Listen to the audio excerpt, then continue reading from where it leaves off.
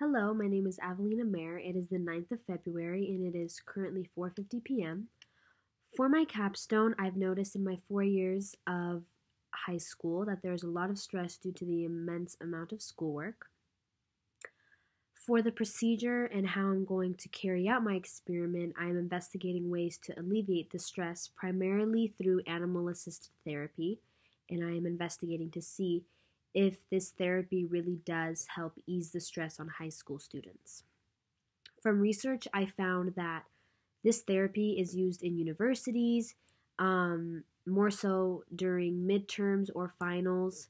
Um, the students can interact with these animals before or after their exams to help them study more efficiently or to just relieve their feelings of stress before or after the exam um, these can be seen, um, you know, this type of therapy can be seen in universities, really prestigious ones as well.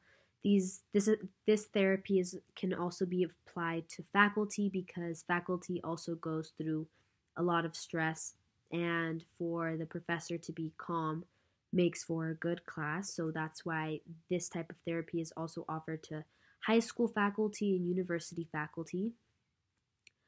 Um, from my research, I've also found that um, this therapy is commonly seen amongst convalescent homes as well for elders that are experiencing Alzheimer's and other um, diseases. And it's also, um, it has also, from certain cases, it has also expanded lifespan through the benefit of, you know, the chemicals that are um, released in the brain throughout this interaction with these animals.